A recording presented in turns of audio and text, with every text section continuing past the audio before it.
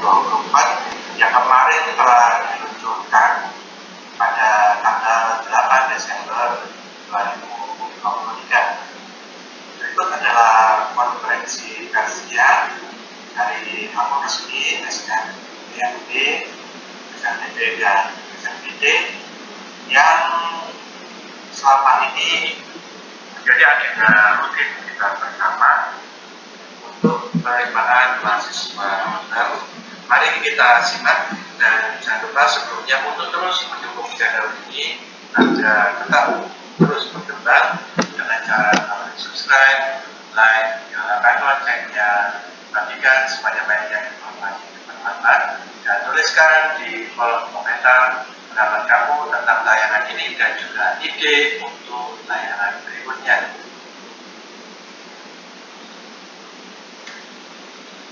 Nah, seperti sebelumnya ya ini untuk pendahuluan fungsi dari SNBMP dari masuk baru tujuan dan pelaksanaannya.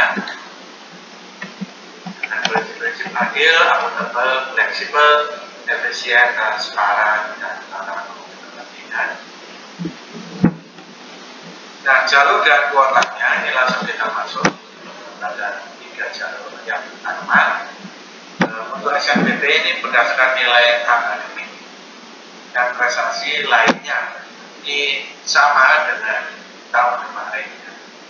Biaya ditanggung oleh pemerintah total minimum 20 persen untuk SNBP berdasarkan hasil UTBK dan kriteria yang telah ditetapkan pelaksanaan tes menggunakan komputer dan biaya ditanggung oleh peserta dan subsidi oleh pemerintah dengan kuota minimal 40 persen. Sedangkan mandiri menggunakan nilai UTBK dengan kuota maksimum 30 persen. Pengisian PDS mendaftar SPP dan mendaftar UTBK ini menggunakan akun ya SPP di portal SPP yaitu HTTPS kolom double slash portal des snpmb.bppt.kemdikbud.go.id uh, untuk pembuatan akun SNPMP oleh sekolah mulai tanggal 8 Januari 2024 sampai 8 Februari 2024 satu bulan. Termasuk registrasi uh, akun SNPMP siswa itu 8 Januari 2024 hingga 15 Februari 2024 apakah itu PDSS adalah data sekolah dan siswa? Ini masih mirip tahun kemarin ya dari tahun jawab sekolah kepala sekolah untuk operator siapa yang akan mengerjakan PDS ini. Ya masih tetap sama. Sekolah yang tidak menggunakan kurikulum nasional tidak digunakan. Undang-undang PDSS bisa menggunakan kurikulum 2006 dari SP 2013 serta PKIKS serta tidak bisa SNBP menggunakan nilai rapor beserta prestasi akademik dan non akademis ya. Sama. Sekolah harus mempunyai NPSR nomor pokok sekolah nasional mengisikan rapor siswa yang masuk dalam siswa eligible.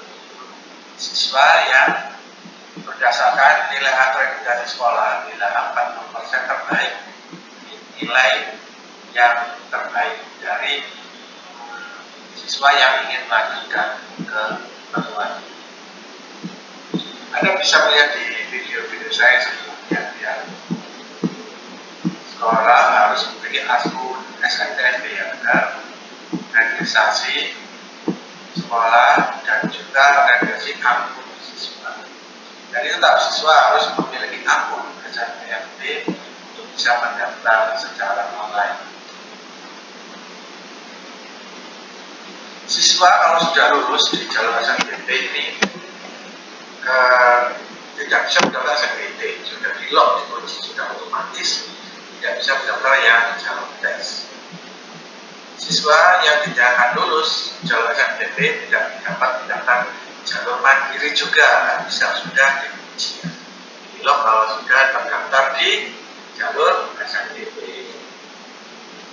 sekolah memiliki NPSN dan ini masih sama seperti tahun kemarin akreditasi sekolah dengan akreditasi A 40% terbaik bisa mendaftar masuk ke siswa eligible. Sedangkan yang B 25% dan C dan lainnya 5% mengisi PDSS mengisi nilai semester 1 sampai 5 untuk siswa yang sudah bertanda eligible. Syaratnya siswa adalah WNI dengan memiliki NIK mempunyai NISN memiliki rapor mengunggah portofolio bagi yang ingin mendaftar bidang seni dan olahraga. Masih sama seperti semester kemarin memiliki prestasi akademik pemeringkatan dilakukan di sekolah memperhitungkan semua nilai rata-rata mata pelajaran semester 1 sampai 5 ini masih sama seperti tahun kemarin ya. Baik sekolah dapat menggunakan kriteria lain tidak ada nilai yang sama. Pada sekolah dengan kurikulum merdeka dapat menggunakan capaian siswa dalam P5 bisa menggunakan nilai P5 jumlah siswa yang masuk pemeringkatan sesuai dengan kuota yang pemeringkatan dilakukan oleh sekolah bisa dilihat di address sekolah. Plus SNBP, BPPP, Tahapannya pengumuman kuota nanti ada Desember kalau misalnya registrasi akun SMK di sekolah lalu registrasi akun SMK di siswa pemeringkatan pengisian PDS pendaftaran SMBP memilih program studi. Dapat memilih dua program studi dan dari satu PTN atau dua PTN ya, mengunggah portofolio bagi yang daftar jalur bidang segi dan olahraga. Ya. Ini sama saja. Hasil pengumumannya juga bisa dilihat di desa PNP ya totalnya. Oke. Setiap siswa yang eligible untuk memilih program studi PTN yaitu dua program studi dari satu atau dua PTN. Jika memilih dua program studi, salah satu harus berada di PTN pada provinsi yang sama dengan sekolah asal. Jika memilih satu program studi, dapat memilih PTN dari provinsi yang berbeda. Bagi yang memiliki program memilih program studi bidang sederhana, wajib membuka portofolio. Sebelah jenis portofolio fotografi film dari sekitar Sejuta etnomusikologi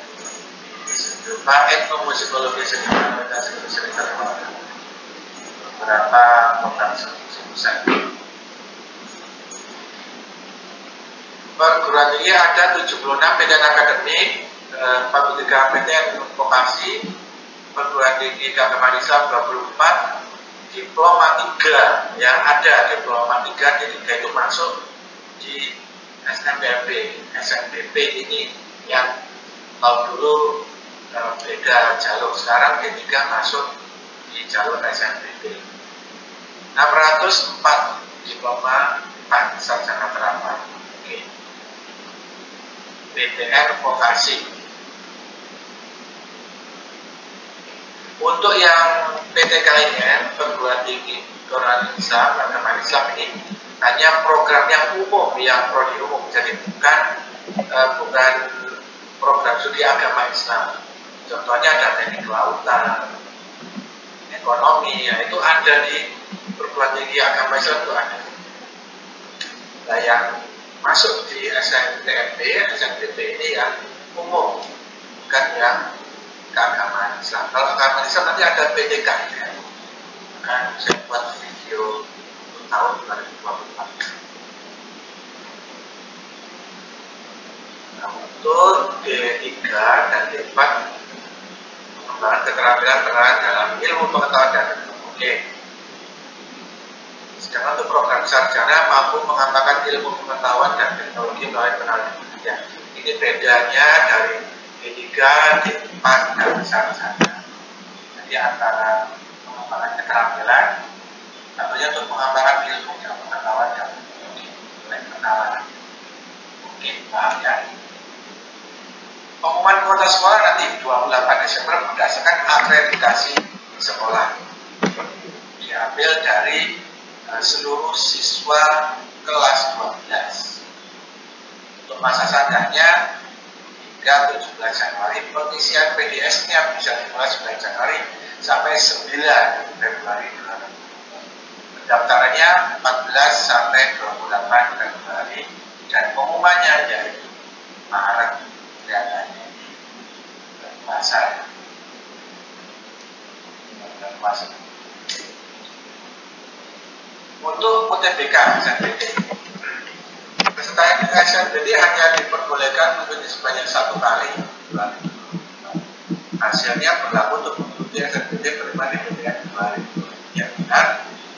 Berdasarkan hasil UTBK dan portofolio bagi yang memilih program studi dan olahraga siswa yang telah dinyatakan lulus SNBT 2024, 2023, SNMPTN 2022 ini memang sudah di blok tidak dapat mendaftar jalur tes SNBT yang 2024 siswa sudah lulus SNBP 2024 tidak dapat mendaftar jalur seleksi mandiri di PTN mana pun. Peserta yang dinyatakan lulus dan telah daftar ulang tidak dapat diterima pada jalur mandiri di PTN mana pun. Persyaratan yang mengikuti UTBK siswa kelas 12 pada tahun 2024 atau paket C dengan umur maksimal 22 tahun per Jadi jangan khawatir buat kamu yang mengikuti program paket C itu disamakan jasa anda. Tetap bisa ikut SNPT UTBK dan khawatir. Lulusan SMA SMA SMK tahun 2022 2023 peserta pensiun 2022 2023 dan maksimal 22 tahun. Ini per 1 Juli 2022 ya lulusan tahun 2022 2023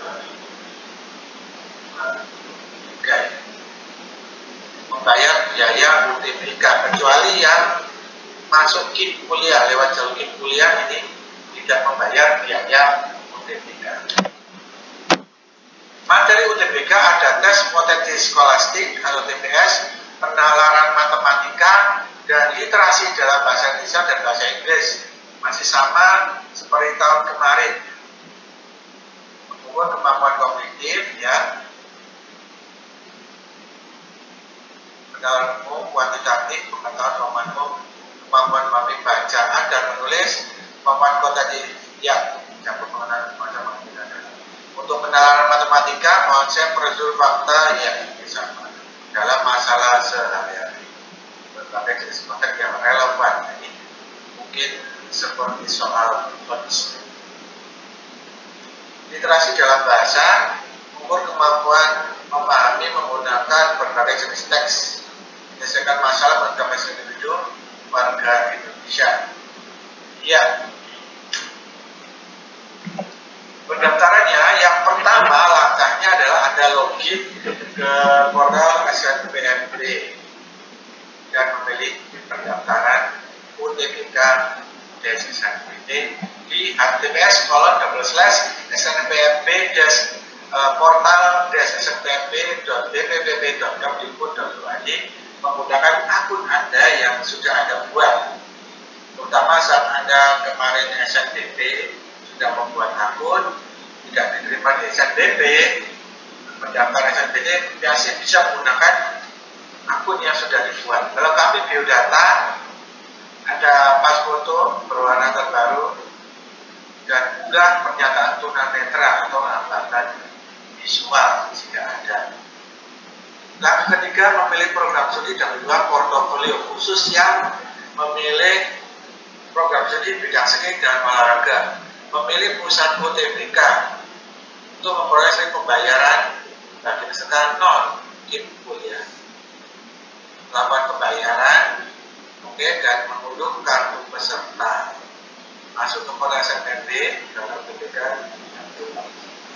kartu peserta bisa dicetak bawah saat ujian pada hari itu dan tempat yang akan ditentukan.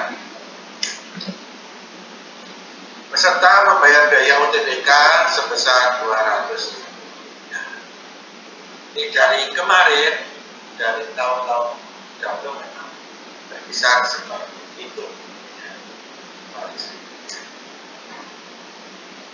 Pilihan program studi bebas memilih program studi di PTN Akademi Vokasi atau PTKIN diperbolehkan memilih maksimal 4 ini lebih banyak program studi ada dari dua program studi akademi sarjana dua pilihan program vokasi D3 atau D4 dengan ketentuan sebagaimana tabel telah menjadi tabelnya. Urutan dalam pemilihan program studi dinyatakan prioritas. Ada memilih pilihan pertama ini yang. Prioritas ada pada pilihan pertama. Contoh alternatif satu D, D3, eh, yang kedua D4, yang ketiga sarjana S1 nya bebas memilih program mana pun 2 D3 2 D4 2 S1 atau 1 D3 1 S1 dan 1 dari D4 dan 1 sarjana ini contohnya kalau Anda memilih tiga program studi bisa memilih 2 D3 dengan satu sarjana atau 2 D4 dengan satu sarjana atau 2 S1 dengan satu D3 atau 2 S1 dengan satu D4 contoh untuk yang 4 program studi. Anda bisa memilih 2 S1, 1 D3, 1 D4 atau langsung 2 S1 dan 2 D3 saya kira mudah ini kalau nanti bisa lihat listnya. Perguruan tinggi dan program studi. Ini sebaran e, lokasi UTBK ada di 74 titik. Seluruh wilayah Indonesia bahkan di Papua ada Sulawesi ada kan Sumatera Jawa Barat jelas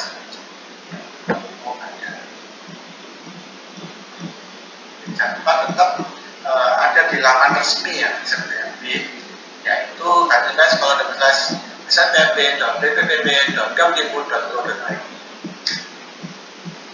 pelaksanaan UTBK ada dua gelombang. Gelombang ada tujuh hari, per hari ada dua sesi. Ini gelombang satu 30 April sampai 7 Mei. Sedangkan gelombang kedua 14 Mei hingga 20 Juni. Insya Allah setelah bulan puasa ya. Oke. Nanti Anda bisa membaca sendiri uh, file ini nanti saya sisipkan di lampiran. Oke. Pendaftaran UTBK nanti 21 Maret. 21 Maret sampai 5 April untuk pelaksanaan UTBK-nya gelombang 1 30 April hingga 7 Mei 2024 pelaksanaan gelombang 2 14 sampai 20 Mei 2024 pengumuman 13 Juni 2024 dan masa untuk sertifikat 17 Juni dan 31 Juni. Seluruh kegiatan akan diakhiri pukul 15 sore.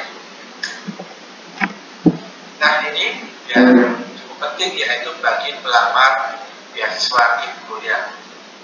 Siswa pendaftar dari keluarga kurang mampu secara ekonomi mengajukan bantuan dan melalui skema KMP ini dari tahun ke tahun sudah saya buat videonya bagaimana cara mendaftar di Kipdeskuliah.kemdikbud.go.id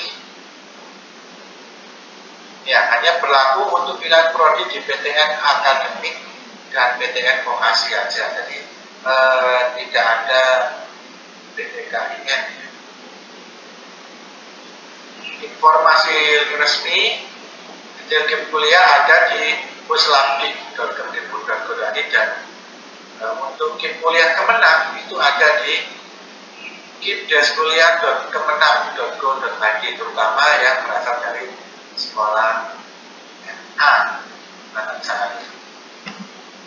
Untuk informasi lebih lanjut tentang SNBP bisa dilihat uh, dengan mengemail di snbp-bpp.npmu.id nomor telepon sekian-sekian, call center sekian-sekian, dan helpdesk oleh hal.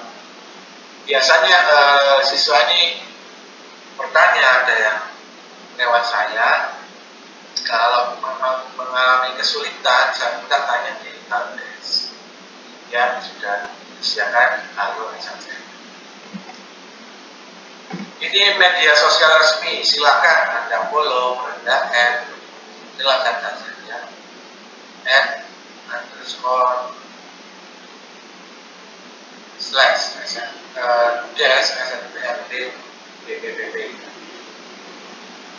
ada di YouTube-nya juga Facebook ada TikTok dan juga ada TikToknya. Jangan sampai dapat informasi hoax. Ya Alhamdulillah uh, dimulai sejak 2009 uh, saya kami mengawal uh, siswa-siswi dari SMA, SMK ya sampai sekarang ya 14 tahun banyak siswa yang uh, masuk ke perguruan negeri dan tidak tanpa masalah sedikit pun meskipun yang perlu perjuangan yang cukup uh, menguras tenaga. Baik, itu saja. Terima kasih. Semangat calon mahasiswa di Indonesia. Ya, itu saja sementara informasi yang bisa saya berikan untuk sosialisasi dari konferensi pers SNPMD 2024 ini. Semoga bermanfaat. Jangan lupa untuk terus mendukung channel ini. Anda bisa melihat video-video selanjutnya untuk mendapatkan informasi selain dari laman resmi yang ada dari pemerintah. Silakan subscribe channel kami yaitu Daniel Yuda Kumoro klik like dan nyalakan loncengnya untuk langsung mendapatkan notifikasi video terbaru dan bagikan sebanyak-banyaknya agar bermanfaat untuk siapa pun saja misalnya di sekolah ini.